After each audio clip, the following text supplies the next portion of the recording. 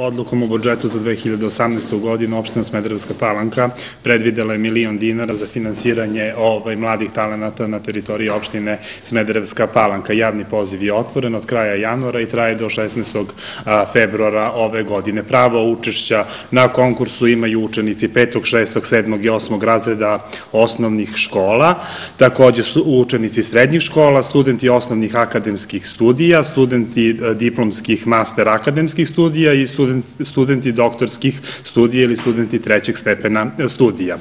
Pravo učešća na konkursu, pored učenici i studenti moraju da ispune znači osnovne uslove, recimo kod učenika moraju da imaju prvi osnovni uslov jeste da imaju prosečnu ocenu iznad 4,5, pored prosečne ocene biće znači da su dobijali neke nagrade u toku školovanja. Recimo ako je to za učenike osnovnih škola da su se takmičili na nekom od takmičenja i osvojili nagradu recimo na okružnom i republičkom takmičenju, a samim tim da su ta takmičenja priznata od strane Ministarstva nauke, prosvete i tehnološkog razvoja. Za studente srednjih škola Takođe, e, jedan od uslova jeste da e, imaju, da su ostvarili u prethodnom periodu prosečnu ocenu iznad 4,5, samim time da su učestvovali na nekom od takmičenja i uslov će biti da su, e, jedan od uslova, znači ne mora da bude, ali da su ovaj, ostvarili Vukovu nagradu u osnovnoj školi. Takođe, ja bih to uopšteno rekao za učenike osnovnih i srednjih škola, malo veći akcent bi stavio na studente, znači studenti prve godine osnovnih akademskih studija, čiji je osnivač Ministarstva prosvete, nauke i tehnološkog razreda, tehnološkog razvoja trebaju da budu upisani ili da se finansiraju iz budžeta Republike Srbije. Znači, studenti trebaju da u četvrtoj godini ostvare prosečnu ocenu iznad 4,5 i da su se takmičili, e, znači prednost će imati oni koji su se ostvarili neko od mesta na republičkom ili međunarodnom takmičenju.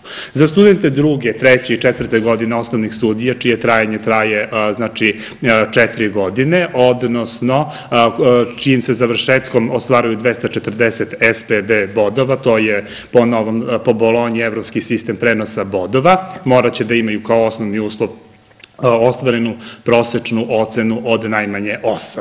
Pored ove, ovih uslova, znači, studenti mogu, ako su ostvarili neke druge rezultate, da, su, da imaju naučne i stručne radove iz oblasti koje konkurišu, recimo ukoliko su tu u pitanju društveno-humanističke nauke, pa tu imamo ekonomske nauke, u okviru ekonomskog nauka imamo različite vrste modula, znači sva priznanja koja su dobili neka prilože uz prijavu na konkurs. Pored osnovnih studija, mi ćemo finansirati i studente diplomskih akademskih master studija. Za diplomske akademske studije, znači to su studije koje traju pet godina, odnosno čim se završetkom ostvaruje 300 bodova.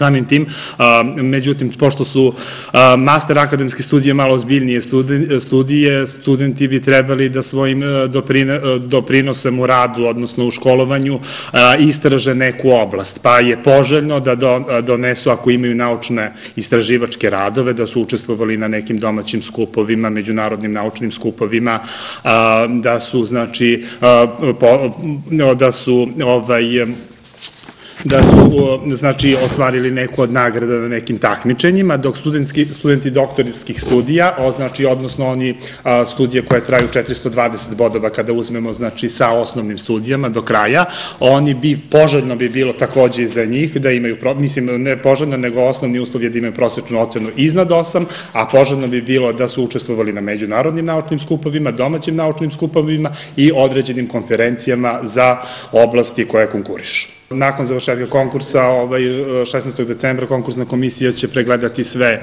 ovaj, pristigle zahteve i uradit će eh, bodovnu listu po kojoj će, u stvari po, pravilniku, odredit će eh, one, one koji su ispunili prvo uslove, odvojit ćemo eh, studente i učenike koji su ispunjavaju osnovne uslove i koji ne ispunjavaju. Oni koji budu ispunjavali, znači, bit će bodovani, tako da i bit će jedna rang lista na osnovu koje će, kad bude konačna, ostvari preliminarna rang lista, mesta, imaće studenti i učenici prava prigovora, ukoliko smatraju da su oštećeni. Pravo prigovora ulaže se u roku od 5 dana privremenom organu, tako da će privremeni organ u celosti odlučiti.